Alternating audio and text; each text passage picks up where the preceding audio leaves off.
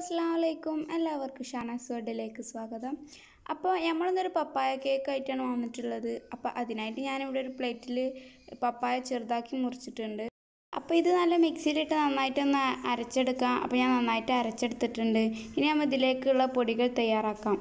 അപ്പോൾ അതിനായിട്ട് ഞാനിവിടെ ഒരു കപ്പ് മൈദ അതുപോലെ തന്നെ ആവശ്യത്തിന് ഉപ്പ് ഒരു സ്പൂണ് ബേക്കിംഗ് പൗഡറും കൂടി ചേർത്ത് നമുക്കിതൊന്ന് തരിച്ചെടുക്കാം. ഇനി ഒരു ബൗളിലേക്ക് നമ്മളൊരു മൂന്ന് മുട്ട പൊട്ടിച്ചൊഴിക്കുക. എന്നിട്ട് നമുക്ക് നന്നായിട്ടൊന്ന് ബീറ്റ് ചെയ്തെടുക്കാം.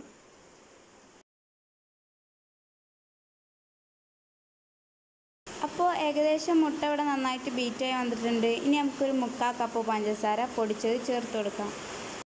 ഞാനിതിൽ വാനില എസൻസ് ചേർക്കണില്ല. പകരം ഞാൻ പഞ്ചസാര പൊടിച്ചതിൽ ഏലക്ക ചേർത്ത് കൊടുത്തിട്ടുണ്ട്.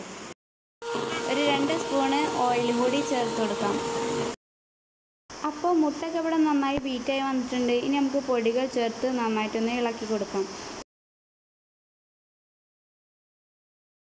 അതോടൊപ്പം തന്നെ നമ്മൾ നേരത്തെ അരച്ച് വെച്ച പപ്പായയുടെ മിക്സ് ഇടക്കിടക്ക് ഇതിലേക്കൊന്ന് ചേർത്ത് കൊടുക്കാം.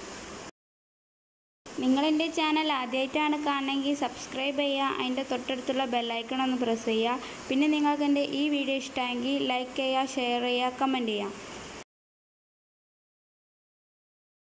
അപ്പോൾ ബാറ്ററി ഇവിടെ റെഡി ആയിട്ടുണ്ട്. ഇനി നമ്മൾ അതിലേക്ക് ഈത്തപ്പഴം ചെറുതാക്കി നുറുക്കിയത് ഇട്ട് കൊടുക്കാം. ഇതിനായിട്ട് ഞാൻ ഇവിടെ കുക്കറാണ് എടുത്തിട്ടുള്ളത്. അത് ഞാൻ ബട്ടർ പേപ്പറൊക്കെ വെച്ച് റെഡിയാക്കി വെച്ചിട്ടുണ്ട്. ഇനി നമ്മൾ ഈ ബാറ്ററി ഇതിലേക്ക് ഒഴിച്ചു കൊടുക്കാം.